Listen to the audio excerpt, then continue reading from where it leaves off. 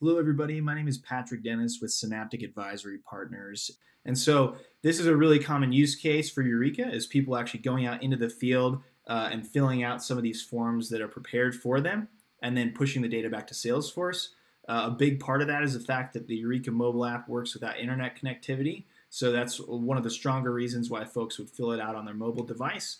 Um, or it's definitely a feature that a lot of our customers value. But in this case, what I'm going to do is I'm just simply going to refresh my mobile app here. And the first thing I can do, I can see getting started with the template builder.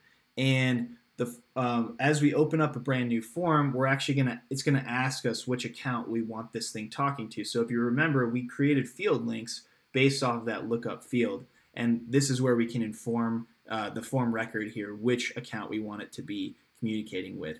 So I'm actually just going to type in Burlington Textiles Corp because that's an example account that we have in the system. And I'm just going to create the form here.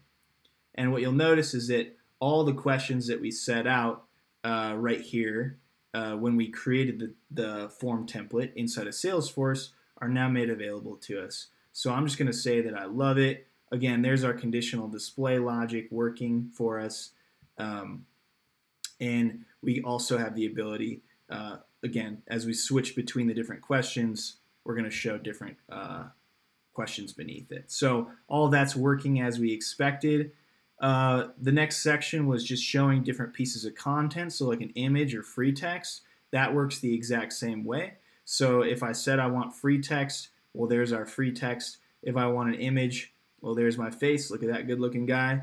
Um, so we have the ability to show that the different pieces of information and content inside the form as we're guiding somebody through their process. The next section was using field links. And so in this case, we can see the account name is actually already pre-populated for us, and so is the website. So if I'm a mobile user and I actually want to change this stuff, Burlington Textiles for the demo, that account name will be changed back in the system the website would also be changed as well. We'll also notice there's our link section so we can actually see the different contacts for the account are being, being pre-populated. And I can click into each one and fill out those fields that are also pre-populated. Um, or if I want to, I can add another contact here too. So we'll say that this is Jane Doe and we'll fill out the phone number here and we'll fill out Jane's email address. So now we've been able to update existing contacts. We're adding new contacts. We've updated based on the field link feature, uh, the account name, and we can see our managed template questions where we can just type test, test, test, and we're done. And so as you can see from the mobile application, we can click submit right here, and it's gonna push all that data back up into Salesforce. So we'll give it a minute. We can see that our template was actually completed.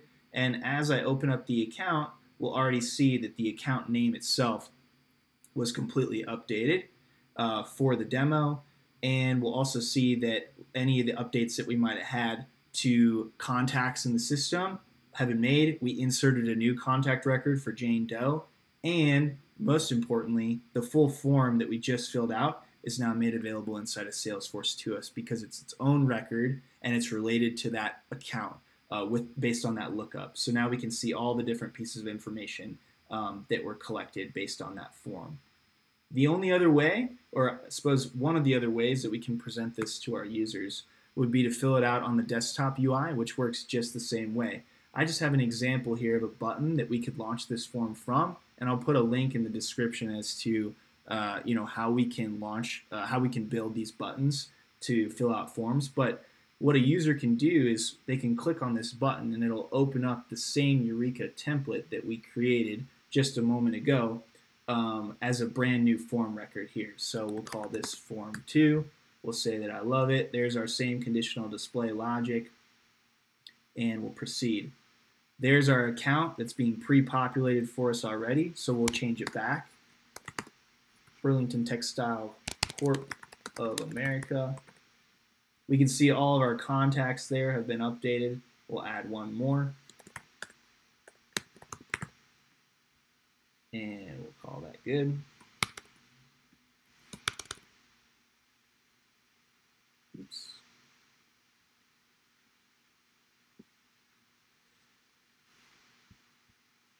And we'll call it done. And we click submit, and then the user's taken right back to the account record where they came from, with that fourth contact being updated, with our account name being changed back to what we had it before, as well as the second form that was just submitted for this record. If you have any other questions on uh, how to get started with the template builder or, or how to utilize Youreka for your specific use case, you can visit us on the App Exchange or visit our website at youreka.io and we'll be happy to talk to you about how Youreka might be able to work for your business.